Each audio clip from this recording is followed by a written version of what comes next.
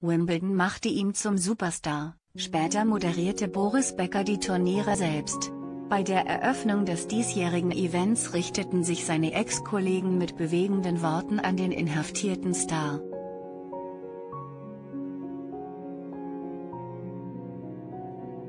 Es ist seit Jahrzehnten eines der größten Events der Tenniswelt, wenn in Wimbledon das gleichnamige Turnier stattfindet, herrscht im Londoner Stadtteil der Ausnahmezustand.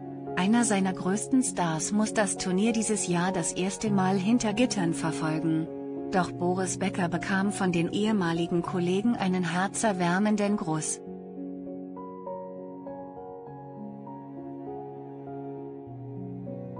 Während der Live-Berichterstattung der BBC richteten sich die Kommentatoren Subaka und John McEnroe direkt an den im April zu zwei Jahren Gefängnis verurteilten Becker.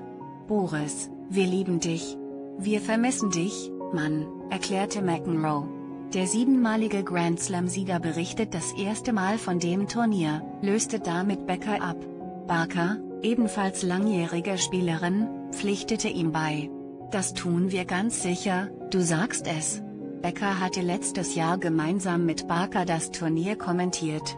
Für sie ist es das letzte Turnier, nach 30 Jahren Wimbledon will sie nach diesem Jahr aufhören.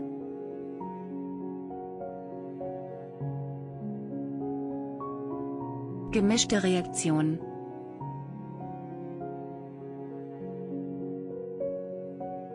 Bei den Zuschauern wurde die Sympathiebekundung sehr unterschiedlich wahrgenommen. Man sende Grüße an einen verurteilten Kriminellen erbosten sich einige Zuschauer nach Angaben des Guardian.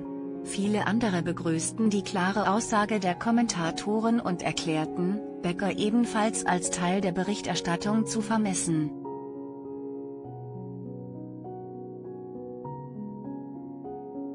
McEnroe wollte die Kritik der Zuschauer gegenüber dem Guardian nicht kommentieren.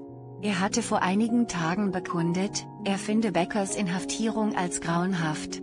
Boris ist ein Freund von mir, stellte er klar. Ich fühle mich schrecklich.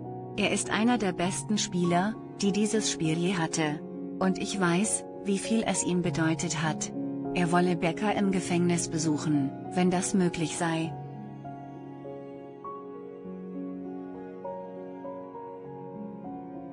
Wandsworth Prison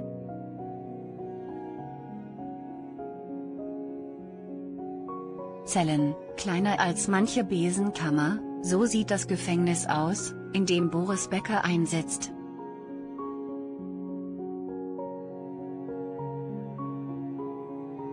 Becker war im April nach einem mehrmonatigen Prozess für schuldig befunden worden, im Rahmen seines Insolvenzverfahrens Vermögen wie Immobilien, Konten und Trophäen verheimlicht zu haben.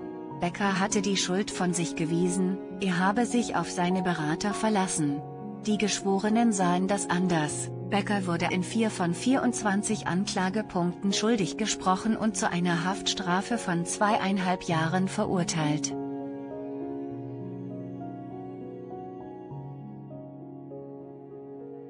Quellen, BBC, Guardian